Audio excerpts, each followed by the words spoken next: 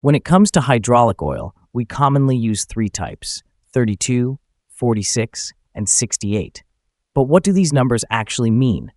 These numbers refer to the viscosity of the oil at 40 degrees Celsius, measured in centistokes, CST.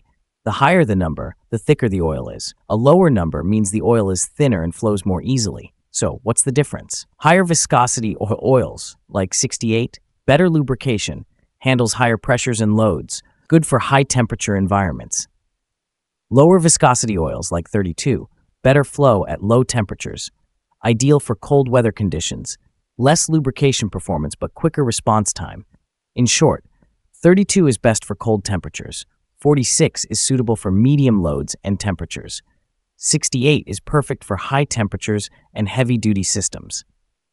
Now you know the differences. Which one do you use in your system?